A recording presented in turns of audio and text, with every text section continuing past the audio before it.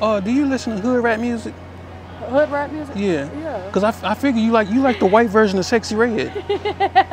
you stupid. Huh? I get that all the time. You get that all? Cause I, I was looking at you and I was like, look at Sexyy Red. I get it all the time. But we gonna call you Vanilla Red. Hey, I'm with it.